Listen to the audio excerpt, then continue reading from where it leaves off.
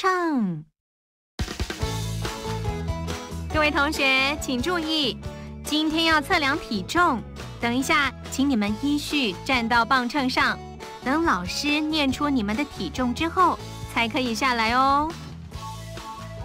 哇，磅秤这么厉害，我只要一站上去，它就可以知道我几公斤。嗯，这么厉害的东西是怎么发明的呢？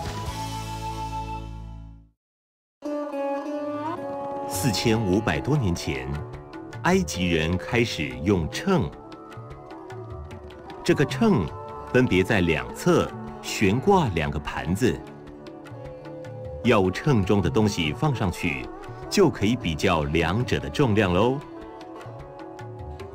一颗苹果和一个瓶子一样重，这种古老的秤叫做天平。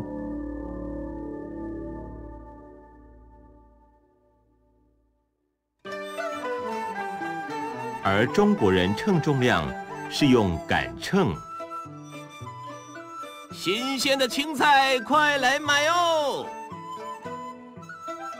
妈妈，我要吃有叶子的青菜。啊，吃青菜对身体最好了。让妈妈来选一把新鲜的青菜哦。啊，我要这一把青菜，请问有多重啊？啊，呃，这先让我来称称看哦。嗯，这样要三个铜钱，很便宜吧？